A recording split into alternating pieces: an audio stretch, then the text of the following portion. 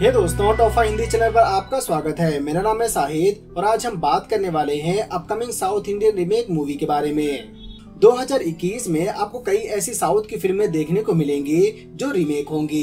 तो वो कौन कौन सी फ़िल्में हैं, किन फ़िल्मों से रीमेक हो रही हैं और कब तक रिलीज़ हो सकती है तो सभी बातों की जानकारी आपको इस वीडियो में मिलने वाली है।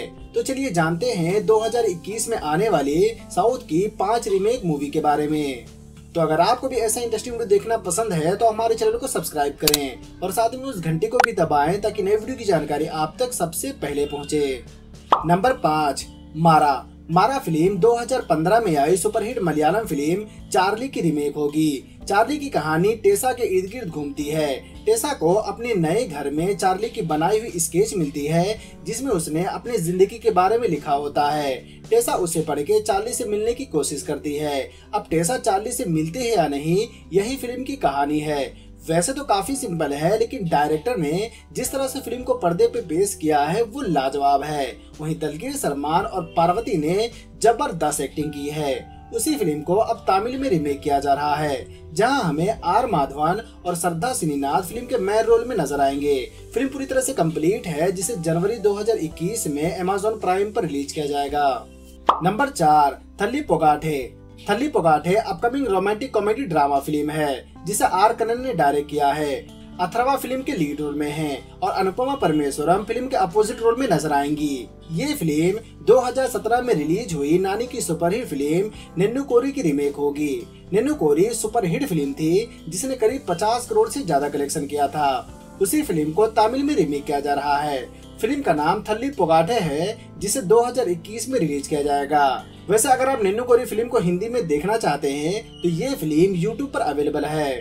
नंबर तीन रेड इस फ़िल्म को थाडम से रिमेक किया जाएगा। थाडम 2019 की one of the best suspense thriller film है, जिसकी कहानी दो जुड़वा भाइयों की है। ये काफ़ी सीधा साधा है और एक थोड़ा सा टपोरी है। एक मर्डर होता है जिसको इनमें से किसी एक ने किया है।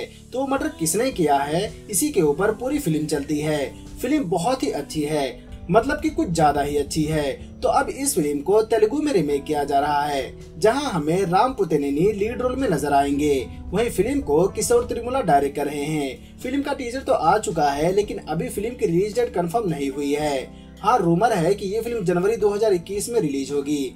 वैसे अगर आप थाडम को हिंदी में देखना चाहते हैं तो ये फ़िल्म भी हिंदी में यूट्यूब पर अवेलेबल है। नंबर दो नारप्पा 2021 में वेंकटेश की दो बड़ी फ़िल्में रिलीज़ होंगी। एक है F3 जो F2 की सिक्वल है, और दूसरी है नारप्पा। नारप्पा फ़िल्म 2019 की ब्लॉकबस्टर फ़िल्म आसुरन की रीमेक होगी। आसुरन में धनुष लीड रोल में थे।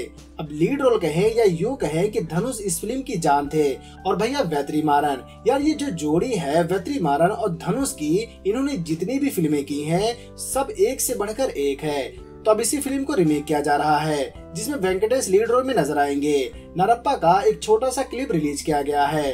अब मैं यहाँ धनुष और वेंकटेश को कंपेयर नहीं करूँगा, लेकिन इतना ज़रूर कहूँगा कि वेंकटेश इस फ़िल्म में गजब की एक्टिंग करते नज़र आएँगे, जिसकी झलक हमें क्लिप में नज़र आती है। नारप्पा की शूटिंग अभी चल रही है, जो बहुत ही जल्द खत्म हो जाएगी।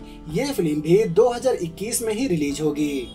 नंबर एक लूसीफर रिमेक लूसीफर मोहनलाल की कुछ बेहतरीन फ़िल्मों में से एक है। 2019 में रिलीज़ हुई ये फ़िल्म इतनी बड़ी ब्लॉकबस्टर थी कि इस फ़िल्म ने पिछले सभी मलयालम फ़िल्मों के रिकॉर्ड तोड़ दिए थे।